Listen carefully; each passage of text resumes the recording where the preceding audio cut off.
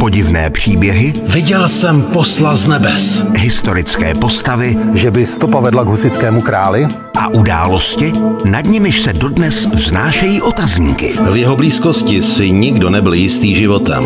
Byl prý spolčený se samotným dňáblem. Kdo stojí za nejzáhadnějším rukopisem světa?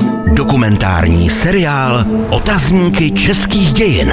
V sobotu a v neděli ve 21.40 na CS Mystery.